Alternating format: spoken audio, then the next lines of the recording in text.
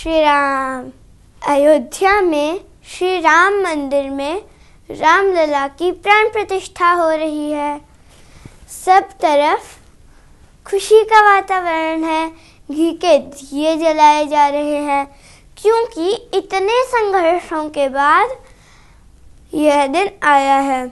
राम मंदिर में तो प्राण प्रतिष्ठा हो ही रही है, पर उसके साथ ही हमें अपने चित्त और चरित्र में राम जी को प्रतिष्ठित करना है, क्योंकि राम जी का चरित्र संघर्षों, संकल्पों और त्यागों के बल पर ही पूजा जाता है।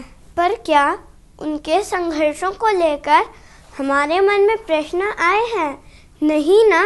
तो आज मैं आप सभी के सामने जो कविता प्रस्तुत करने जा रहा हूँ वह अपने में यही प्रश्न रखती है।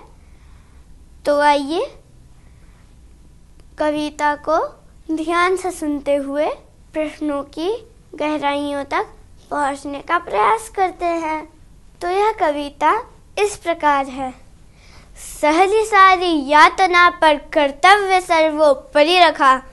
त्यागशील संकल्प को जिस तरह जीवित रखा बोलो, कहाँ तक टिक सकेंगे?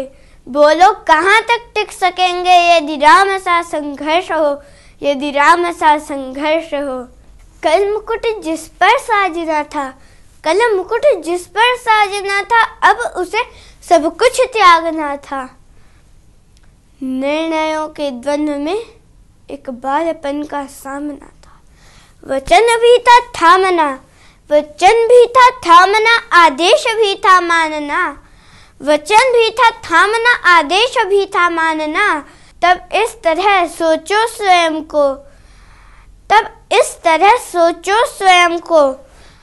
धर्म पर तुम रख सकोगे, बोलो कहाँ तक टिक सकोगे? यदि राम सा संघर्ष हो, यदि राम सा संघर्ष हो। प्रजा तो बस राम की थी। प्रजा तो बस राम की थी दुनिया उसे जप रही थी। प्रजा तो बस राम की थी, दुनिया उसे जप रही थी। वचन ही तो था, तोड़ देता। धर्म ही तो था, छोड़ देता। पर पीढ़ियाँ क्या सीख लेंगी, राम को चिंता यही थी। पर पीढ़ियाँ क्या सीख लेंगी, राम को चिंता यही थी। हो छिन रहा एक क्षण में सब कुछ। हो क्षण रहा, एक क्षण में सब कुछ।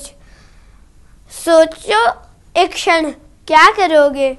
बोलो, कहाँ तक टिक सकोगे? यदि राम सा संघर्ष हो, यदि राम सा संघर्ष हो। कि वट न जाने क्या किया था?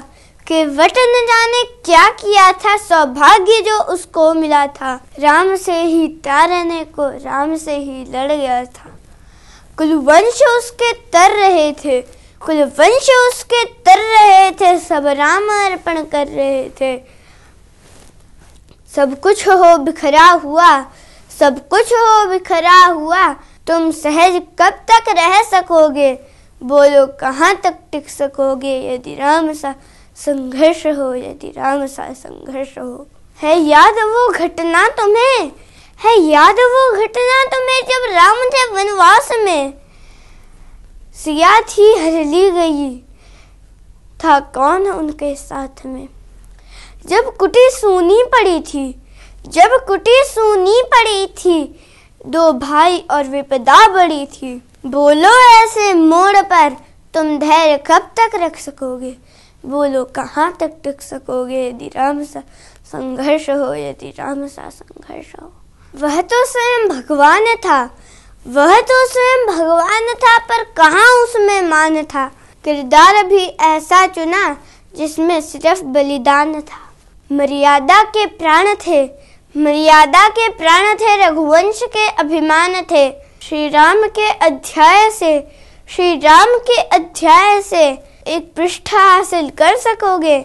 बोलो, कहाँ तक टिक सकोगे? यदि राम सा संघर्ष हो, यदि राम सा संघर्ष हो। व्यथा इतनी ही नहीं है, कथा इतनी ही नहीं है। कुछ शब्द उनको पूर्ण कर दे, राम वो गाथा नहीं है। जब तपे संघर्ष में, तब हुए उत्कर्ष में। जब तपे संघर्ष में, तब हुए उत्कर्ष में। क्या हम भी ऐसी प्रेरणा? क्या हम भी ऐसी प्रेरणा? पीढ़ियों की बन सकेंगे? बोलो कहाँ तक टिक सकोगे? यदि राम सा संघर्ष हो यदि राम सा संघर्ष हो।